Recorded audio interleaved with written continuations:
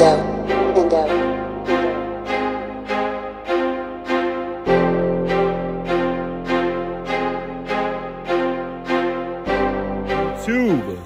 What is going on? It is your main man, Burn the Streets, back again with another unboxing for the channel. And today I actually brought home a surprise, a banger. I wasn't even expecting to pick this up today, but it was on sale for $50. I could not hesitate because the sale wouldn't last long because usually these PlayStation 5 controllers go for 74 to $75. So a bargain is a bargain.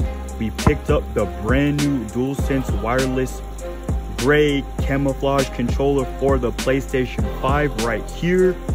We're in the big leagues with this one. You know, adaptive triggers, haptic feedback, built-in microphone, signature comfort. You guys played PlayStation 5 before or you've seen how it is.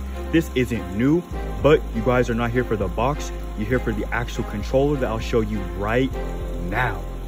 Boom, crazy how editing works, right? So this is it. Look at her. Oh, nice sleeked out. As you can see, fine line to detail. We do got the circles, the triangles, the X's, the O's for PlayStation.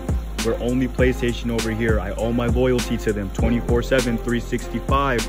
But this is the controller. Nothing too crazy besides the crazy ass um, camouflage design on it.